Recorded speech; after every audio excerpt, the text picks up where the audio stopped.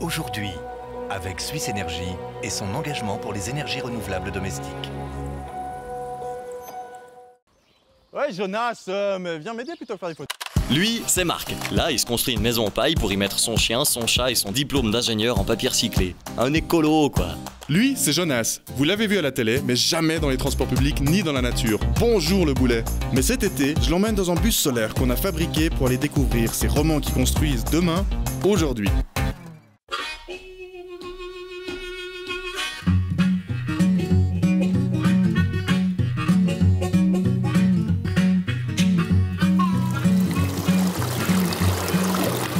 M'expliquer d'où t'es venue cette idée brillante de nous amener dans un jacuzzi quand il fait déjà 40 degrés à l'extérieur Profite de la chaleur plutôt que de te plaindre. T'as vu ce paysage, Anzer, magnifique, dans le plus, plus bel endroit du monde et t'arrives à te plaindre. Chaud. C'est chaud. C'est pas un hasard s'il fait chaud, regarde. Je te fais un quiz. C'est sorti de ton oreille ça c'était sur mon Oh oreille. t'es dead c'est sur mon oreille. Prends-le dans tes mains. C'est du bois. Mais pas de C'est du bois. C'est du Jamais bois. Ah c'est du bois ça? Mais ouais, c'est du pellet. Et ici, mon gars, la piscine, la moitié du village, tous les hôtels sont chauffés avec du pellet de bois.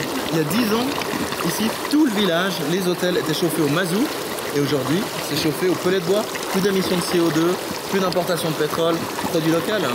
Juste avec ta cire d'oreille là, Exactement. ils arrivent à chauffer le village. Ouais. Et je vais te montrer la centrale de chauffe parce qu'elle est incroyable. C'est la plus grande centrale d'Europe. Et c'est Marcus et Albert qui sont derrière ce projet. Je te les présente. C'est parti, on y va.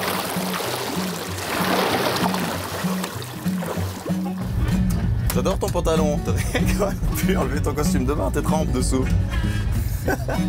T'auras fière allure pour dire bonjour aux gens. Mais on voit pas que j'ai mis mon costume de bain dessous. Ça reste discret. Bonjour Marc Albert, enchanté. Enchanté, merci. Jonas, enchanté. Bonjour, Marc. Bonjour. Jonas, enchanté. Et Marcus, tu viens d'Allemagne juste pour nous accueillir aujourd'hui. Bah oui. Bah, c'est gentil. ça. Oui. Merci beaucoup. Bon bah il faut nous montrer comment on chauffe des baraques avec ça alors. Ok, alors on y va? Avec plaisir. on, on se trouve alors dans la, dans la centrale de chauffe avec les, les deux chaudières. D'accord. Et puis on trouve euh, sur la partie supérieure euh, le stockage. On a deux silos de 200 tonnes de, de petits pelets justement. qui se trouvent en dessus. Oui. Là ils arrivent dans la chaudière. Alors voilà, on arrive ici à l'endroit où le combustible euh, tombe sur une vis sans fin et on voit ce combustible ici à l'intérieur. C'est les mêmes pelets. Alors voilà, un combustible local. hein. C'est local. ah, il vient d'Uvrier, donc à une dizaine de kilomètres de chez nous. Mais comment est-ce qu'on fabrique ça alors? Bon, ça c'est un produit qui est comprimé, c'est la sciure ou des copeaux comprimés. Mais c'est quoi? C'est on travaille le bois dans la région et avec les déchets qui sortent du bois, on, on compresse et ça donne ça, c'est ça? Oui, mais j'aime pas le mot déchet parce que déchet, ça dit, c'est pas de valeur.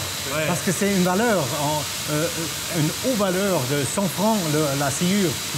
D'accord. Donc en fait ils, ils produisent de l'or en faisant euh, du bois, c'est ça D'accord.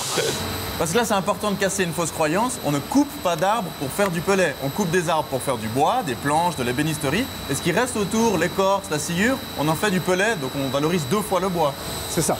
Parfait, on arrive maintenant devant nos chaudières où se fait la combustion de- du pellet, du granulé. On voit le foyer. Ah ouais, c'est, c'est l'enfer là-dedans. Ah, c'est chaud, chaud, chaud. Hein. Mais quand il y a du feu comme ça, c'est que forcément il y, a de la- il y a de la fumée. Ça pollue, ça, non, de brûler tout ça Ah, on a deux systèmes de filtrage. Au début, un cyclone et après, Toutes les petites particules qui sortent, vous les récupérez ici, elles partent pas dans l'atmosphère. toutes les particules euh, fines, il reste dans un filtre à manche. Les centres, c'est zéro- seulement 0,5% du nappe, c'est du centre.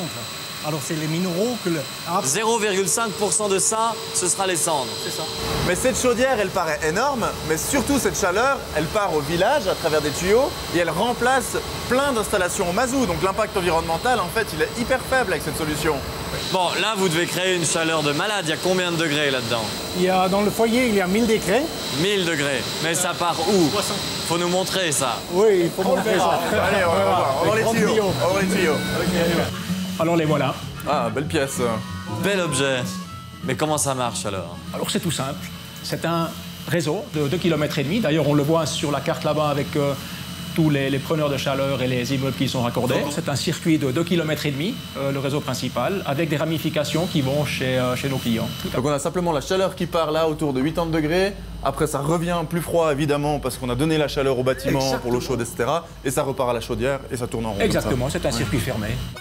Vous nous racontez l'histoire de cette centrale, comment est-ce qu'elle s'est faite? Mon père, il a acheté en 1971 un appartement à Anzer et il voulait changer la ancienne chaudière à mazout sur une neuve. J'ai dit non, j'ai opposé, ça va pas. Euh, il faut faire des granulés. Mais qu'est-ce que c'est les granulés? Ils ont dit granulés, c'est le, bois comprimé. On a commencé à fabriquer en Allemagne. Ma, ma société a, dans l'année 2000, on était le premier producteur industriel de granulés en Allemagne. Et euh, avec cette idée, euh, j'ai venu là pour présenter. Tout à coup, ça ça roulait. Il y a eu aussi assez d'opposition. Une fois, un monsieur il a dit J'adore les forêts, je ne veux pas qu'on les brûle. Et il y a une autre chose qui est incroyable, c'est que pendant 15 ans, vous allez payer les installations qui vont durer 40 ans. Donc aujourd'hui, vous êtes déjà au même prix que le mazou. Et dans 15 ans, enfin après 15 ans d'utilisation, vous serez moins cher. Et là, vraiment, il y aura tous les avantages. Bon marché, écologique, local. En fait, même si on a une motivation égoïste dans l'histoire, on peut être intéressé. Même si on n'est pas du tout écolo, on peut rejoindre le projet. Vous avez ces profils-là? On peut être écologiste et, et pas philanthrope, hein, je veux dire, euh, effectivement. Mais, mais c'était tout l'enjeu au départ, c'était de convaincre. Et la quantité de mazou que vous économisez chaque année, elle est incroyable. Le chiffre, c'est combien? C'est environ 1,5 million de litres de mazout. 1,5 million de litres de mazou chaque année pour les 40 prochaines années. Et ça, ça représente quoi 1,5 million de litres de mazou? C'est environ 3000 voitures. Euh, Comme si vous aviez retiré de la circulation 3000 voitures avec ce que vous faites. Ce projet, il est hyper encourageant parce que ça montre que ça marche, ça montre que c'est bon pour l'environnement, c'est local et c'est pas plus cher. Mais ça montre aussi qu'il y a un énorme potentiel devant nous parce qu'en Suisse, on n'est que à quelques pourcents euh, d'énergie au bois, alors qu'en Autriche, ils sont déjà à 30%. Ça montre vraiment qu'on a un futur devant nous euh, renouvelable, clairement. Oui, et moi je propose, il ne faut pas attendre trop long parce que surtout votre euh, vieille chaudière à mazout, elle va casser en hiver et pas en été. Et là, vous êtes surpris et tout à coup, il faut, faut faire le changement. Et alors, il faut planifier. Et, et ça, c'est. mm, Oui, je dis tout- à tout le monde, il faut maintenant attaquer le marché pour vraiment changer les anciennes chaudières. Pellet. Ah, chaud, chaud, chaud. Eh ben, Allez, belle, ouais. Belle cheminée. Ouais, superbe. Bon, 1,5. C'est quoi ça? 1,5. Toi? De quoi, non? 1,5 million de litres. Et que- 1,5 million de litres économisés. par année de mazou. C'est incroyable. ouais, c'est fou. C'est incroyable. Ouais, je trouve ça incroyable. Tu gaspilles, tu gaspilles l'énergie.